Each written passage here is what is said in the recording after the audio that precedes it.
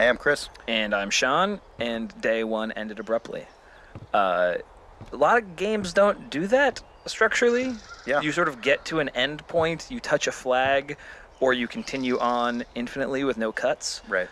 Uh, cuts are very rare in games that have sort of a. First person games, especially. Yeah, yeah.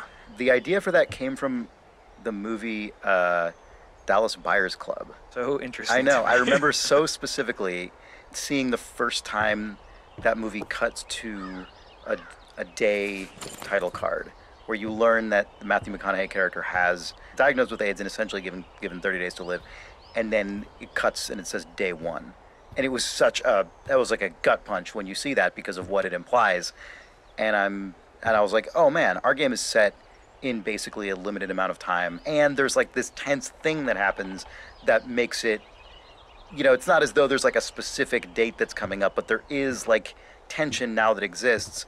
Also, we had to figure out just how to get around the fact that we had a big open world and needed to tell a linear story, and so I, I just came in the next day and pitched that idea based on that movie. And Yeah, we- and we all just thought it was like stylish and interesting and solved so many problems, so we did it. ended up was it. creating a lot more problems, but I think it worked overall. Yeah, that's great.